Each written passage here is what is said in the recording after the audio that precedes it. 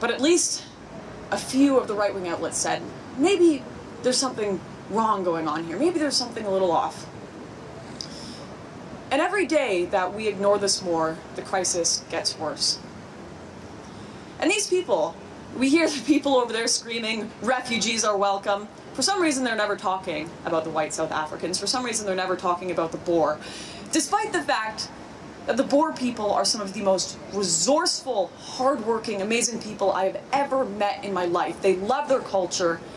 They love their families. They love their freedoms. And I understand why so many of them, they don't want to leave. They want to protect that. They want to preserve that. The land they are on is not stolen. And anyone who knows the history of South Africa knows that to be a fact. Surprisingly, last week, one of my best viewed videos in a while was talking about Wehraboo's, these online communities who are massive simps for the German military in World War II.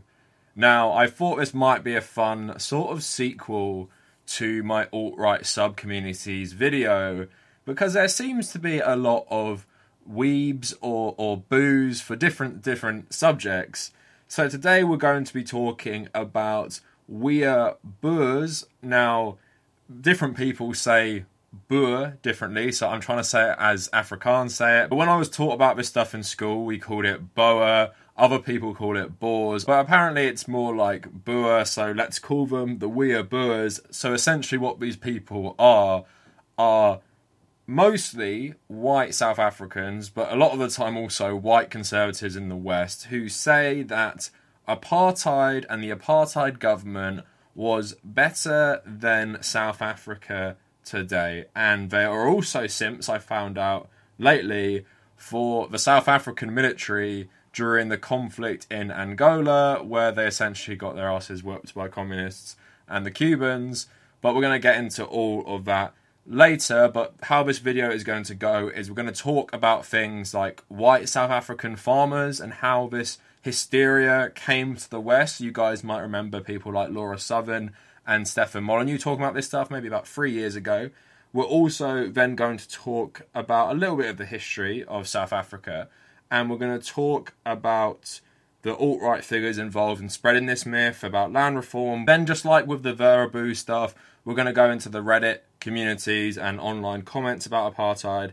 And then for the last bit, we're going to talk about simps for the apartheid military. But before we go any further, edgier content on my channel is always demonetized. So if you want to support me monetarily, please check out my Patreon. Thanks so much to everyone who has already done this. At the moment, the benefits are gaining access to the private Discord server, and you'll obviously have your name featured at the end of every video and in the description. I'm working for some other benefits that will come in the future. If you want to join our growing community, please check out the Discord and the subreddit in the description. And if you want to follow me personally, check out at the Kavernacle on Instagram and Twitter. And also you slash Tommy Cahill 1995 for my personal Reddit. So with that out the way, let's get into the video. Also for every 5k we get a new chocolate orange. I've changed the style of the little um, formation I have going there. So on 24 now chugging along to 25. When I get to 25, we'll get a new chocolate orange. Also, I'm trying to live stream two times a week. So we streamed on Tuesday. I'm going to be streaming tomorrow about midnight my time, maybe a bit after. Hopefully, we're going to do that every Tuesday and Thursday, so it'd be good if you would join me. So, apartheid is a fairly well known topic. Now, the history of the region of southern Africa is fairly complex and complicated owing to the fact that there have been multiple countries that no longer exist anymore. Countries like Rhodesia or the Orange Free State or the Transvaal. And a lot of these countries were made up of white minority rule. Some of these territories were ruled by the British, others were ruled by Dutch colonialists, Afrikaans, and the Boers essentially are the farmers, and you might know them from the two Boer Wars Fun fact, and something I didn't find out until about five months ago, is that my great grandfather fought in the Boer War, and as an Irish person, I thought that could only mean he fought in the British Army, because a lot of Irish people did fight in the British Army.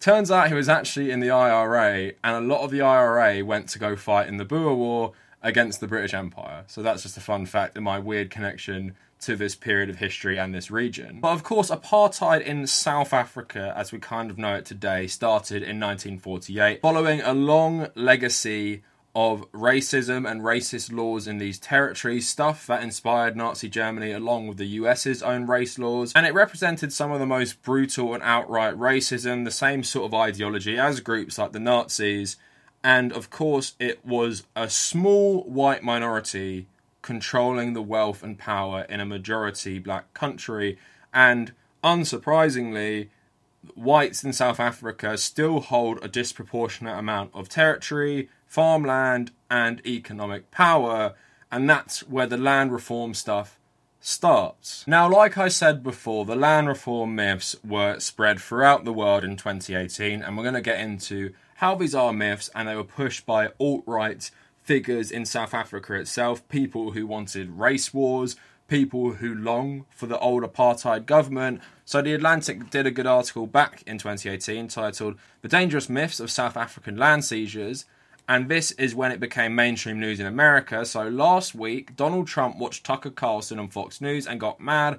That's not exactly news, but what happened next was the president tweeted a message of support for South Africa's white farmers, tweeting, I have asked Pompeo to closely study the South Africa land and farm seizures and expropriations and the large scale killing of farmers. South African government is now seizing land from white farmers. So throughout the Carlson program, the screen blazed with Chyrons asserting that South African land sieges had already happened, and this was despite them having not actually seized land. And it was also emphasising the violence, but it's not true that South African farmers had been massacred by black South Africans, as a lot of people have been saying. But the article says that while South Africa is extremely violent, has so much violent crime, US funded scholarship has shown that rural violence is overwhelmingly concentrated among the poorest and among those with only a primary education who are very unlikely to be white. But this whole issue does centre around proposed changes to the constitution, so getting into the land issue. So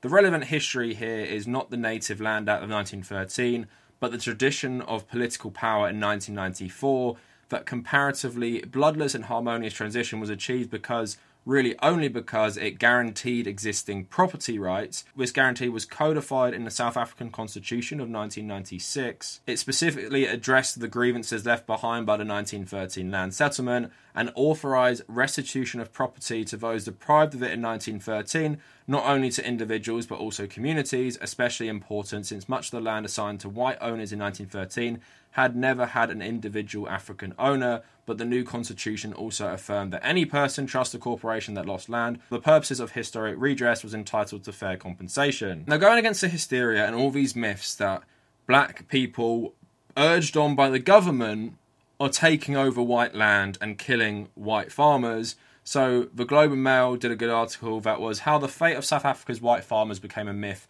used by Trump and the far right. And it just talks about how this actually hasn't happened because of the gridlock with the legislation in terms of redistributing the land. So, one reason to anticipate long delays is the track record of South Africa's own post apartheid history. The ruling party has promised land policy changes since 1994, yet little has changed. The vast majority of private commercial farmland still remains in the hands of white farmers, Hobbled by corruption, institutional weakness, and legal confusion, the ANC government has lacked the technical capacity and political willpower to make any substantial changes in land ownership, despite the persistent inequality and continuing land scarcity for many impoverished black people. In 1994, the government set the goal of transferring 30% of agricultural land to black owners by 2014, but it's fallen far short of the target, somewhere between 9% and 21% of farmland has been transferred to black people over the past two decades, studies have found. Now, the Pulitzer Center did a good article on this about the myth of white genocide from James Pogue, and it just talks about where this redistribution of land comes from and he's writing about the history. So it's easy to forget today. In the years since Nelson Mandela has become a liberal saint, the victory over apartheid was not a product of tidy pacifist resistance to political injustice, the ANC's guiding Freedom Charter, adopted in 1955, declared the need for land redistribution. The land shall be shared among those who work it, and the document is a revolutionary manifesto calling not just for democracy and political equality, but for the redistribution of land and the nationalisation of mines and industry, the Charter recognised that the political equality would be meaningless without wealth redistribution, since whites long ago handed themselves control of the country's natural resources, one of the first pieces of segregationist legislation passed by the newly independent Union of South Africa was the 1930s Land Act, which barred whites from buying property from blacks and vice versa, at a time when about 90% of the country's land was already in white hands. And just to outline the racial disparity of poverty, the article also says Today, 14 million South Africans live in extreme poverty, often in informal settlements or conditions that are no better. There are a tiny number of whites who live in squatter camps, 13,000 of them according to a 2016 estimate, and the plight of this minute slice of the South African poor has been very heavily reported on. In 2013, the amazing impartial BBC repeated a wildly inflated estimate by Afrikaan rights activists that up to 400,000 whites were living in camps, which is a number that it later became clear that the activists had made up on the spot. It's now been repeated countless times. So, although that was quite long winded, hopefully I outlined the issues with land reform in South Africa. It essentially is that the ANC ran on this radical platform of redistributing the wealth in South Africa, meaning that while most of the agricultural land was owned by whites, their target was to redistribute that to make it more fair for most of the population.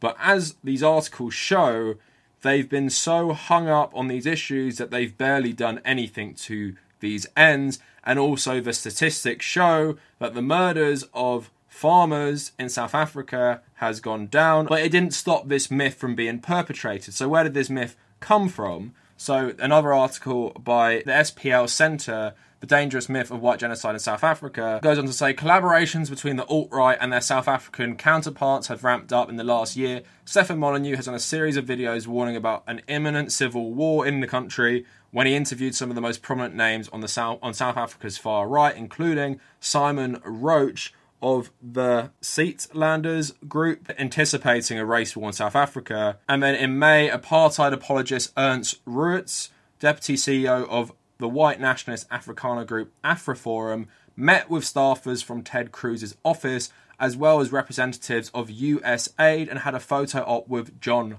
Bolton and appeared on Tucker Carlson. So they pushed this myth about the farmers being murdered and taken off their land and this article goes on to say, contrary to sensationalist reporting of escalating violence against white farmers, the long term trend shows a decline. Farm murders peaked at 153 in 1998, while violence against farmers hit a 20 year low this year, 2018. 47 farmers were murdered in a one year period. An official committee of inquiry formed to investigate the farm murders found that robbery was the motive for the vast majority of the 2,700 attacks studied, whereas racial motives accounted for 2%. So, thanks to the galvanization of the far right around the world, a lot of so called liberal people picked up on this stuff and platformed this stuff, talked about the plight of white South African farmers with their land being stolen and then being slaughtered in, you know, huge numbers when it's simply not true in either case. White people in South Africa still hold on to most of the farmland. White people in South Africa still are far better off than black people. White people in South Africa are still holding on to the gains made from the colonial period and apartheid, and the government has not done enough to tackle this despite the ANC running on this platform. Now, this has led to more radical groups calling for forced takeovers of this stuff. There is that sentiment in South Africa at the moment. The economic freedom fighters are one such group, which are pretty radical, talk about killing these white farmers and everything, but they're the radical fringe who feel like the ANC have let them down. And make no mistake, there is a lot of dissatisfaction with the ANC in South Africa because of the blatant corruption of people like Jacob Zuma, because of their relative ineffectiveness, because of multiple things they're letting the country down on.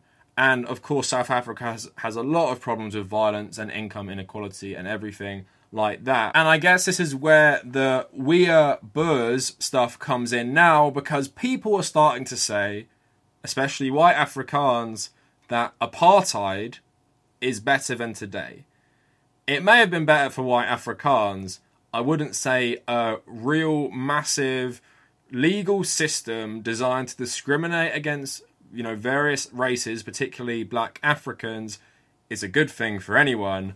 But let's get into the We Are Boers comments. I know you're here for these stuff. So, so most of these people I find weren't actually alive during apartheid. So it adds to this element of people looking back thinking the past was greater despite not actually living through it. So here's one tweet. My grandfather used to tell me about the situation we are in now, saying that during apartheid things were better than they are now. The only issue in the past was discrimination. Not all pe- but all people had jobs, clean cities, no corruption, no borderless crime rate was low. I'm sure a system that puts a white minority in power uh, and gives them all the rights to the economic advantages didn't have any crime and didn't have yeah it was perfect clean cities. So another guy says sad but true as bad as apartheid was both blacks and whites are better off in every single way. So it has a meme basically saying was apartheid better? Listing all the ways apartheid was better.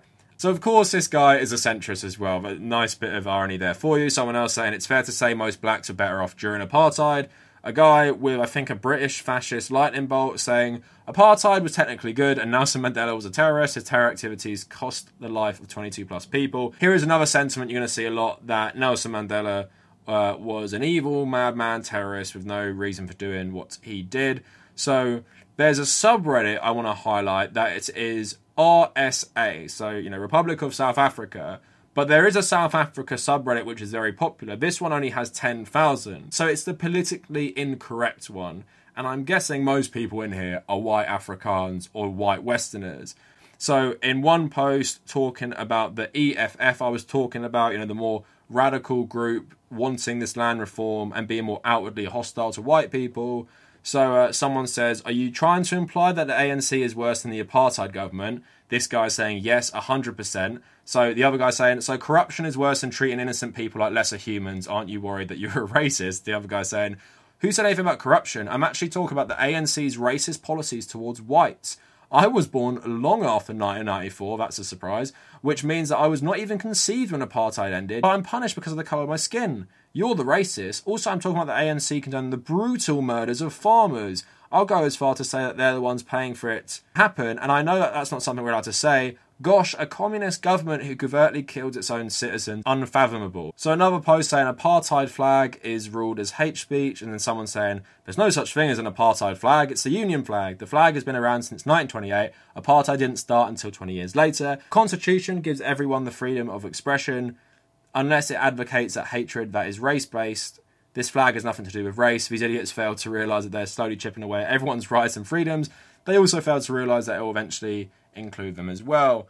Now, just like America having all these state flags with the Confederate stuff on it, and you know the the Betsy Ross flag that Colin Kaepernick was talking about, some of these flags don't have an explicit racial connotation, but a lot of them are Boer Republic flags. Places where there was insane racial discrimination against black people, and obviously taken up by nationalists who still wave these flags around so it's not surprising that people would see them as racist, especially if it's from a relic of a system from the past. You know, he's saying apartheid didn't start until 1948. Well, what do you think it was like before then? Do you think it was somehow not racist? Have you even like looked at any of the regions around them? Loads of them still had legal racial discrimination against black people and other minorities. So um, de Klerk apologises for statement that apartheid was not a crime against humanity. So de Klerk was the last leader of apartheid South Africa. He was a deputy leader under Nelson Mandela as well from the transition from apartheid. Someone say he shouldn't have had. Someone else say betrays his own people again. Not surprised at all. Pro apartheid ex-backs club that calls Mandela evil terrorist makes headlines in the UK look, these guys have that flag that was banned for hate speech, and a comment saying, how dare they use accurate descriptions? So again, the anti-communism stuff, someone else posted, just going to leave us here, and it's uh, a Nazi swastika and the hammer and sickle of the Soviet Union saying, so if this offends you and this doesn't, you're a victim of the system a prisoner of ignorance. So another post, British far-right protesters want London's Nelson Mandela statue torn down and someone saying your sainted Nelson was a terrorist and personally responsible for several bombings and the loss of innocent lives. But hey, you probably see Che Guevara in the same light. When um, Nelson Mandela's daughter passed away, people commenting, My thoughts go out to that racist family in this time of mourning. Someone else saying she dead. So you have the South Africa subreddit, which is just a general South African subreddit. Not really that bad, especially compared to what I've been showing you. But it posts a man rides a bus in Durban meant for white passengers only in resistance to South Africa's apartheid policies, 1986. someone says, This sub is rabidly anti white. How is that anti white? Posting a very heroic photo of a man protesting apartheid at a massive risk to his own life. This kind of post is designed to inflame anti white feelings in tandems with the clicks debacle. Someone asks, How is this anti white? He says, Because it drags out old scars and directly implies whites are rubbish, which this sub strongly advocates. It perpetuates a thread of distrust towards whites and does no good in any sense. So, this is a funny post I saw in Bad History. Aside from racism, apartheid was a pretty good system. So, someone commenting, Actually, things worked a lot better during apartheid. Not talking about the awful race shit that went down. Everything worked and was maintained properly. Since then, corruption has skyrocketed and nothing works properly anymore. South Africa basically went from being run like a Western country to being run like an African country. So this guy is crazy racist and is saying that, you know, the, the racism and apartheid was bad, but now the country's bad because it's run like an African country. So you see a lot of this sentiment and it has risen due to all the myth about South African farmers. When I read you the statistics about how much they still own the South African white farmers how much they're not being murdered, especially for racial reasons, and how much the ANC isn't actually doing anything right now. And then you see all this stuff, you just conclude these guys are just racist people who yearn for the apartheid era back, rather than people who have massive grievances with this farm stuff. This is just a propaganda issue. And now I'm not saying that ANC and South Africa doesn't have corruption problems, which probably feeds into these people thinking apartheid was maybe good but again, how can you discount the awful racial discrimination? I also love the thought that somehow a government that is based on racism isn't corrupt. Again, you're literally not giving people economic opportunity or equality because of the color of their skin. And that's a fair system, that's not corrupt. But you know how Trump supporters are still trying to cope with him losing the election? We are Boers are doing the same thing because they got their ass whooped by the communists. Uh, during the Angolan Civil War. So this war went back and forth for a long time in the 70s and 1980s, and Cuba, pretty consistent with their foreign policy in Africa, sent a lot of support to the Angolan communists. Now, Cuba had already helped independence movements in Algeria and Congo, but it really doubled down on Angola, and 10,000 Cubans were actually killed in the conflict, which is a higher proportion of their military and, and population that died in that conflict compared to US forces in Vietnam. So these guys were very, very committed. And in terms of the propaganda, the Cubans said that, you know, Afro Cubans are going back home to liberate their brothers from, you know, the white apartheid rule. So essentially it was the Soviet Union, Angolan communists, and Cuba versus South Africa, Britain, and the United States. So, a lovely apartheid military, the, the military of a fascist government trying to invade an African country to get rid of communists fighting for liberation. But these guys are all simps for the South African apartheid military. So, although small, I found another subreddit called South African Border War. And like I said, they're trying to cope with being whooped by the communists. So, um, you have various pictures of South African Air Force combat planes, different tanks, that are being deployed in Angola at the time. Here's one that says Cape Corps soldiers on riot control training. Back in the day, and still today, the ANC and their followers were extremely violent during riots. These oaks knew how to stop one extremely quickly, and contrary to popular belief, with few to no casualties, I'm sure the racist apartheid soldiers would never ever hurt the violent ANC protesters. So I just commented, glad Cuba whooped your asses. Um, someone said, stunning image, mate. probably to show the political leanings of these people and how they are we are boors. Here's another one. Rest in peace to this honoris crux, decorated hero, pathetic that a government can allow its veterans to be slaughtered by the same communist terrorism they once fought to destroy. So the South African right, particularly the white South African right, clearly have a problem with communism as well. Clearly, they're still coping pretty hard with being beaten by the Cuban and Angolan communists. And at the time, the border wars did send shockwaves through South Africa because this white army, which believed they were racially superior to Africans and to Cubans as well. Let's not forget how white supremacists often view people from Spain, Portugal, and Latin America, that essentially they're a mixture of, you know, in Spain's case, Muslims and Jews. In Latin America, they're a mixture of natives and African slaves and white people. So you're not actually the same as real white people. But Mandela and Castro and a lot of people in South Africa and on the South African left do credit this this sort of conflict with galvanizing them in the latter stages of apartheid because it essentially showed the South Africans with all their military might, you saw that there, with their Western backing, backed by the US to fight the Cubans, to fight the Soviet Union, to fight the Angolan communists, were beaten. And they had to negotiate peace with these forces and they had to go back home. Again, the South African military had never been beaten in such a way, so it was very damaging to them. And like I said, still haven't gotten over the communist thing being beaten by the Cubans. Now, to conclude the video, Wehraboos and the like are far more common on social media and on Reddit. They push way more myths and they're way more popular, I guess because World War II is more popular. But We're Boers is still a thing that happens, and I think really it's been galvanized in Western circles by the land reform propaganda and the land reform myths because it seems like when you really delve into to the statistics and everything, it's quite a non-issue in terms of is this really happening? But when you have the Western media and the governments of the US being sold this lie by far right figures, far right Afrikaans in South Africa, it caught on. You know, like the new atheist movement started talking about this stuff. Loads of people started talking about this stuff like it was a massive reality. Like the white farmers who still control most of the agriculture were being killed at the behest of the government. Again, just not happening, but I think it has led to the rise of weird Boers. And you see a lot of the myths online that everyone, including black people, had it better during apartheid, apparently. And I wonder who's saying that. Like I said, I believe it's mostly like Gen Z, people who weren't around during apartheid, and they're white Afrikaans. Because I doubt most black people who live through apartheid would say today, as bad as South Africa is in many aspects, yeah, I want to go back to that. But anyway, that is it for We're Boers. Let me know what you guys think in the comments. Follow me on social media at The Kavernacle, Twitter and Instagram. Come join our communities on Discord and my subreddit, all that stuff in the description. Please check out my Patreon. Of course, this video is demonetized, so any financial support is appreciated. And again, live streaming Tuesday and Thursday nights. Come and join that. And if you made it this far, thank you for watching.